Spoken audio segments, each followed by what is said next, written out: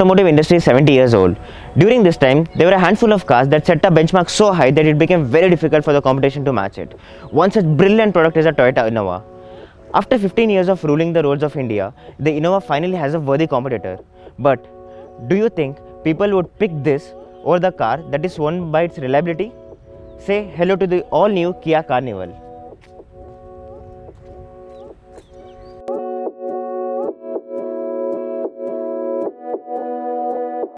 When I first saw the Kia Carnival, I was wondering if we could still drive it using a normal driver's license because it's that massive. It's not only longer and wider than the Innova Crysta, but it's just 30 cm shorter than the Tempo Traveler. What's really surprising is, in spite of the rocketing dimensions, Kia has managed to style it very well. In fact, it looks much better than the Mercedes V-Class. First look at the front and you would wonder if it's actually a sibling of the stylish Seltos. But your misconceptions are put to rest when you spot the tiger nose grille of the Kia family. The headlamps are projectors with integrated turn indicators and neatly laid out DRLs. You get the front parking sensors which are very helpful in maneuvering this massive MUV inside the city. The rear of the Carnival is nothing fancy to write about. You get the stylish glass tail lamps which are neatly integrated in the tailgate with the chrome strip running around. Not to forget the boot is electrically controlled. The party starts when you move to the side of the car. The humongous stance seems to be inspired from the western world. But let me show you a very interesting thing. The Kia Carnival welcomes you like this. How stylish is that? Once you get inside the rear of the Kia Carnival, you would be left spellbound by the amount of space inside the car. There's acres and acres of space inside. You get an individual sunroof for the rear, you have individual armrests, you have a lot of legroom on offer and the seats offer brilliant under thigh support. The Kia Carnival takes it to a whole new level. Check this out. The cabin is made with good quality materials and the piano black inserts on the dashboard, steering wheel and door pads uplift the premium appeal of the car. The 3-spoke multifunction steering wheel is identical to other Kia cars and has plethora of buttons for music control, cruise control and voice commands but the instrument console with a MID display in between looks very sporty. The dashboard is dominated by a massive 8-inch touchscreen infotainment system with all sorts of smartphone connectivity options along with navigation and reverse camera. The performance of AC is just brilliant. It makes you feel like a native of Antarctica in no time. There is a lot of storage space on offer. You get the sunglass holder, cup holder, USB charging sockets and a lot more. One of the most sensible features of the Carnival is that the rear doors can be shut and open using a button here. There is a lot of space even in the third row.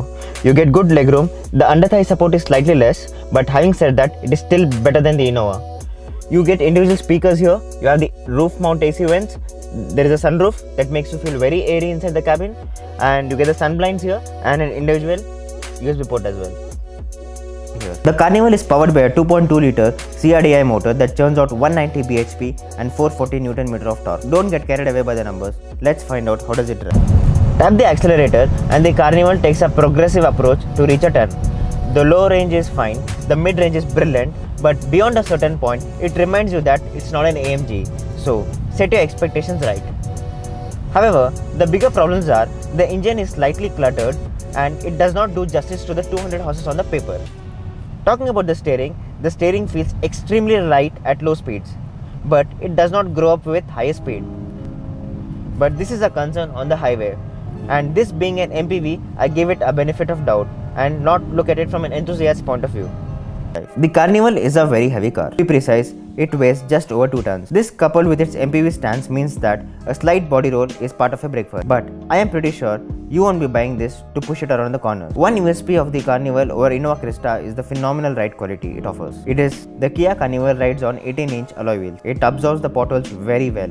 So, would I pick the Kia Carnival over Innova Crysta? Definitely yes. It's stylish, it's modern, has a lot of features and probably I could build a house inside it too.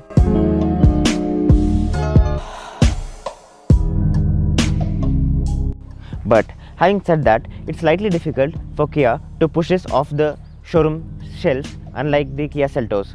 That's because in India, we do not accept MPV based vans with open hands. Nissan tried it with Evalia, Mercedes tried it with V-Class and the rest is history.